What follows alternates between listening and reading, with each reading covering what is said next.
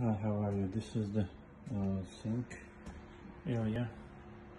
This area is okay for leveling until um, this corner.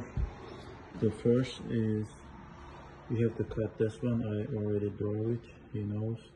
Then one inches after you have to cut all all the way until corner for sink, and then dishwasher area is 26 inches open I think you can put the filler this corner just make sure 24 inches either you can step in here for filler. So this door it doesn't open it's gonna be touch this one it's not about the measurement but before the installation if you want to do then you can fix it. This is another issue for leveling. The peninsula it's going down this way uh, looks like half inches down at the corner.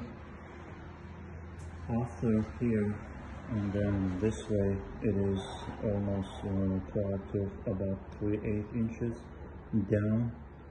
Then you have to uh, make a level on this corner. And this area too